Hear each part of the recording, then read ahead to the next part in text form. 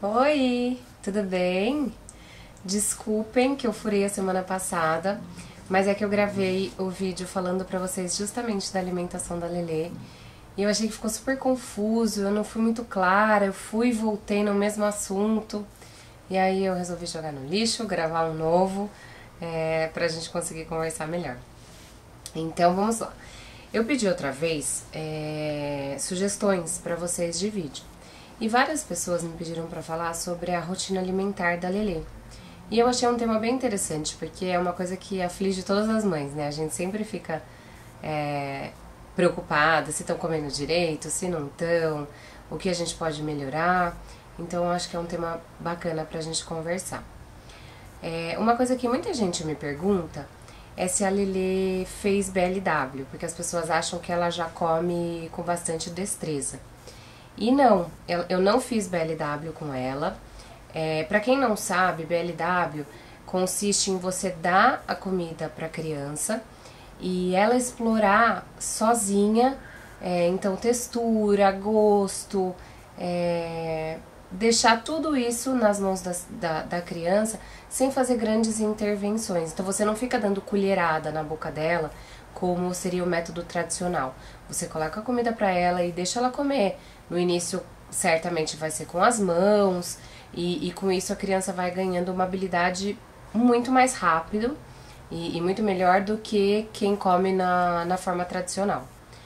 É, mas eu não fiz com a Lelê, eu acho bacana, assim, muito legal, admiro quem faça, porque eu acho que tem que ter uma elevação de espírito aí com toda a bagunça que fica em torno, não tem jeito, acontece mesmo. Mas eu não fiz porque eu acho que não combina com a minha personalidade, eu não...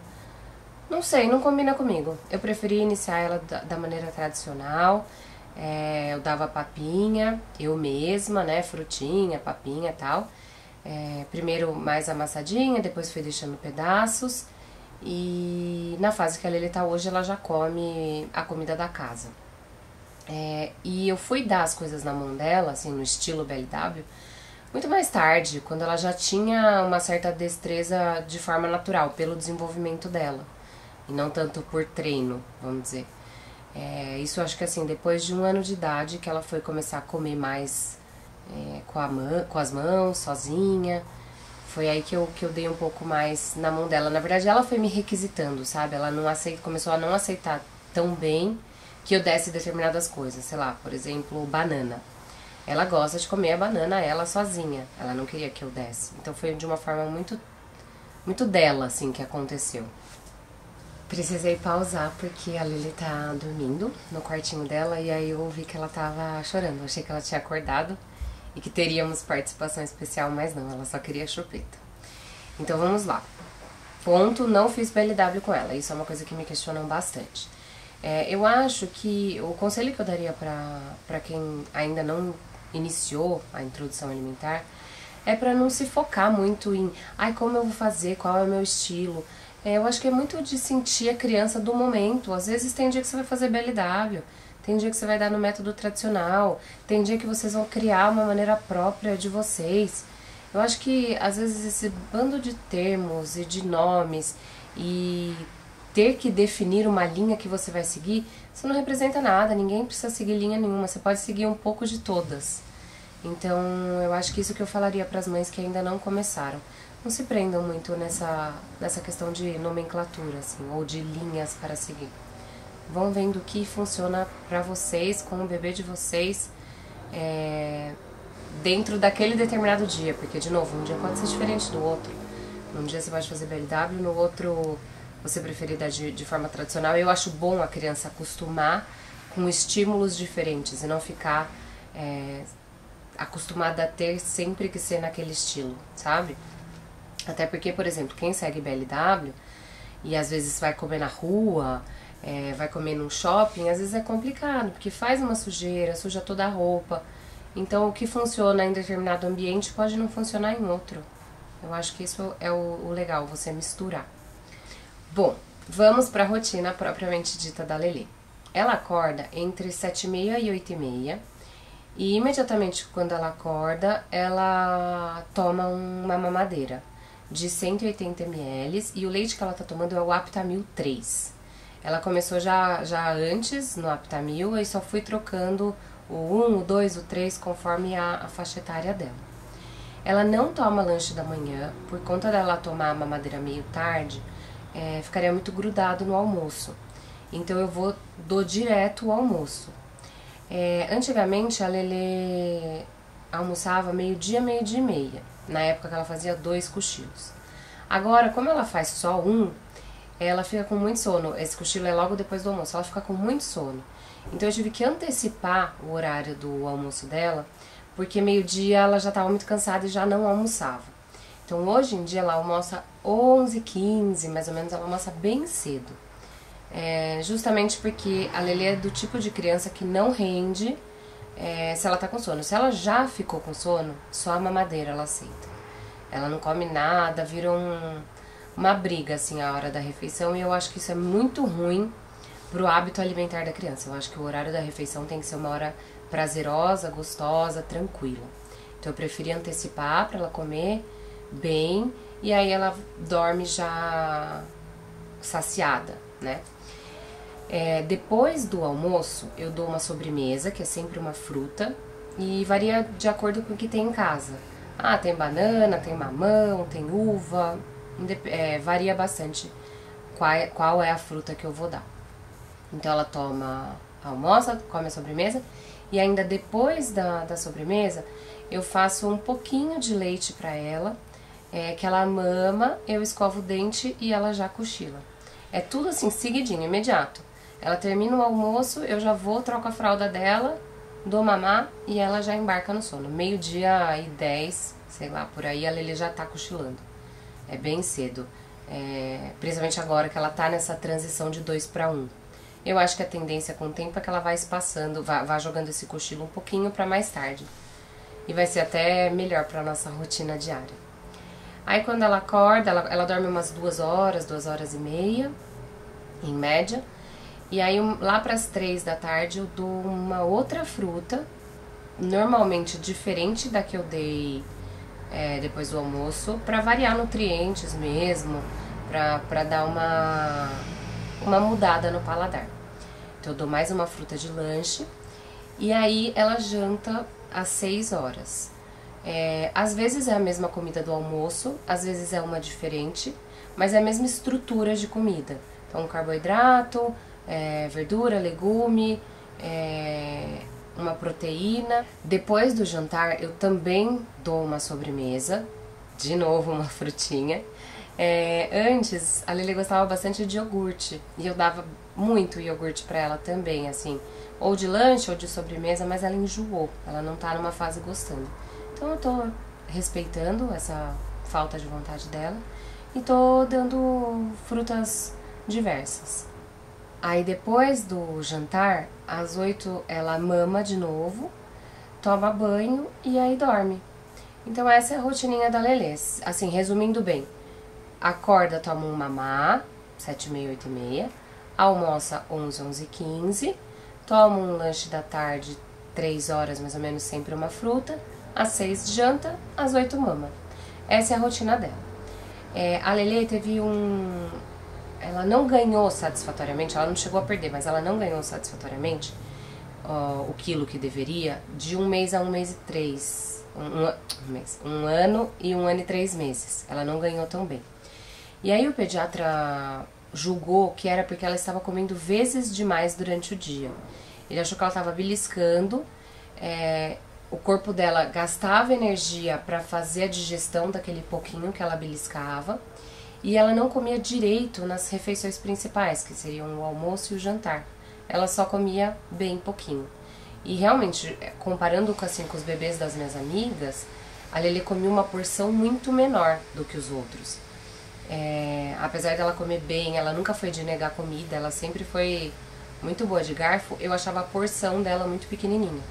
E aí foi o. A gente resolveu fazer um teste durante um mês, ele, eu restringi bastante os horários dela, de acordo com isso que eu falei pra vocês, tá?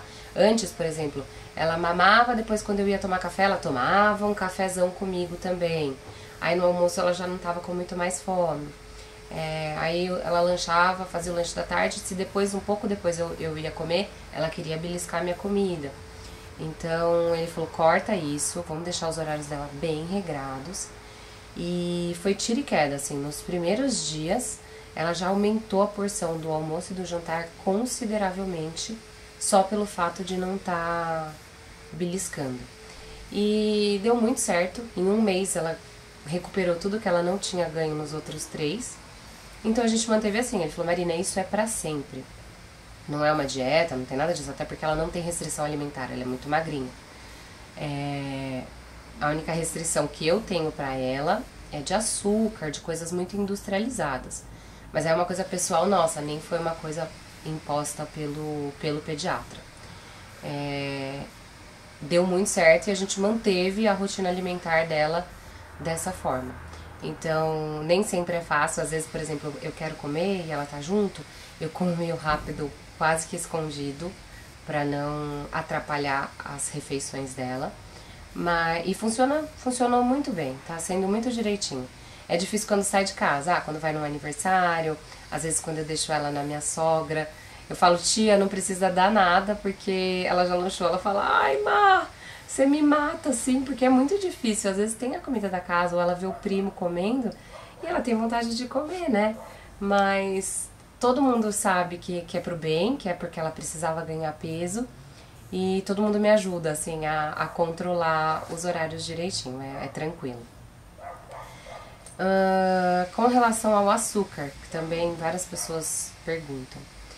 Eu não dou porque eu acho muito cedo para Lelê. Eu não julgo quem dá, eu acho que cada mãe sabe o que faz dentro da sua própria casa e toma as próprias decisões. Mas eu preferi por restringir assim, enquanto ela é pequenininha. Eu pretendo segurar bastante até perto de uns dois anos de idade. E depois disso eu quero liberar aos poucos. Eu não quero com dois anos liberar geral, assim. É, eu acho que hoje a gente tem uma oferta de produtos muito grande tanto de coisas boas como de coisas não tão boas. E eu gostaria de formar um, um hábito alimentar, um paladar para ela é, que fosse para o melhor. Então eu tento oferecer coisas naturais, é, coisas uh, que tenham bastante nutrientes, que não é o caso do açúcar. O açúcar eu não vejo muita função nele.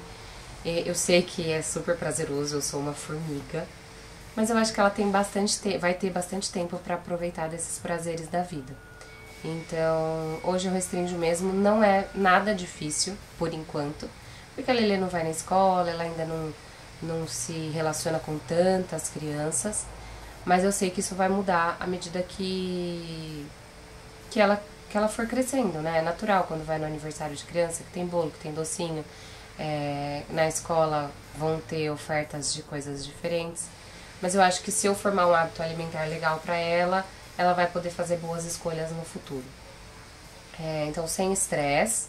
Hoje em dia eu ainda sou meio bitolada, assim, é, com essa questão da alimentação, mas eu tenho consciência que eu vou precisar afrouxar minhas rédeas, que eu vou ter que trabalhar esse meu lado e que ela vai comer, claro, como, como todas as outras crianças, até porque nenhum excesso faz bem, né? Nem tanto, nem pro lado do do muito restrito e nem para o outro lado que seja o, o comer demais.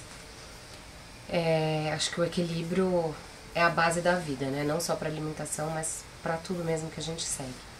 Lembrei de duas coisas que eu queria falar para vocês. Uma que no início eu usava muito essa tabela, que eu vou colocar aqui para vocês, e eu fazia certinho, respeitando sempre ah, pelo menos um item de cada grupo. Então ela tinha uma alimentação muito balanceada e equilibrada. Isso até um ano e quatro meses eu segurei muito bem. Hoje em dia ela come todos os grupos, mas sem estresse se em algum dia não tiver algum deles. Eu, eu fiquei um pouquinho mais é, relaxada agora nesse sentido. E outra, a, outras três coisas, na verdade. A segunda coisa é que a Lele comeu, comeu a comida separada, comeu um estilo papinha. Papinha que eu digo seria tudo misturado e não triturado, ela já comia pedaços. Até um ano e quatro meses.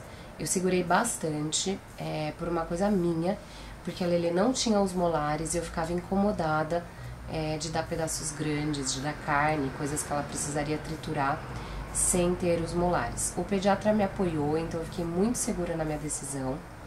É, mas eu sei que tem várias mães que colocam antes e dá tudo certo, a criança tem a capacidade de mastigar mesmo sem os dentes.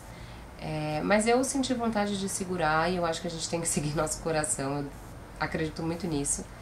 É, então eu queria passar para vocês também, assim, não precisa acelerar ou seguir a risca exatamente o que é para ser.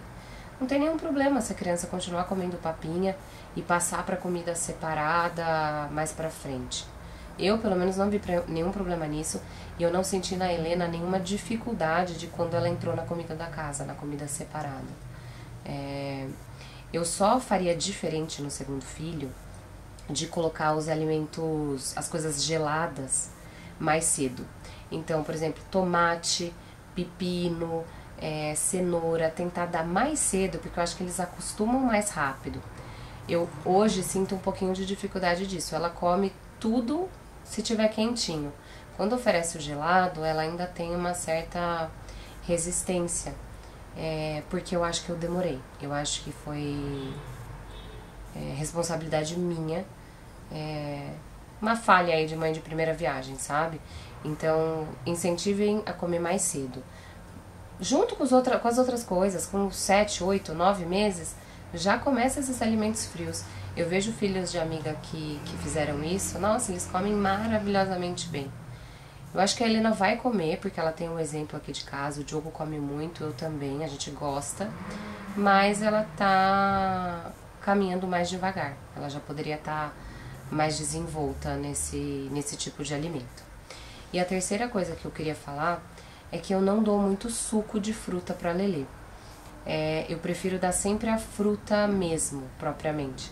Eu acho que o suco aumenta muito a frutose e, e você perde algumas propriedades no suco, né, de nutrientes mesmo, que na fruta na fruta em si é mais aproveitado. Então eu sempre dou preferência por ela dessa forma. Claro que às vezes ela toma suco, mas é bem raro, eu diria que é bem raro aqui em casa. A gente também não toma, eu sempre prefiro a água nas refeições, então ela é bem viciada em água, o que eu acho assim uma benção, eu agradeço muito. Bom, é isso, essa é a rotina alimentar da Lelê. Se vocês tiverem alguma dúvida que eu não tenha respondido, por favor me escrevam aqui embaixo, me mandem, que eu, que eu gravo outro vídeo para esclarecer, não tem problema nenhum. Por favor, curtam aqui, se inscrevam no canal, é, que é importante pra gente, né, que tá aqui desse lado, esse crescimento. E para vocês poderem acompanhar e saberem quando eu posto os vídeos é, em primeira mão, então curtam aqui. E se tiverem mais sugestão de, de vídeo, saibam que eu tô super aberta, podem me escrever. É muito bom poder fazer, poder falar de um tema que eu sei que outras pessoas é, estão com interesse, estão com curiosidade de saber. Um beijo!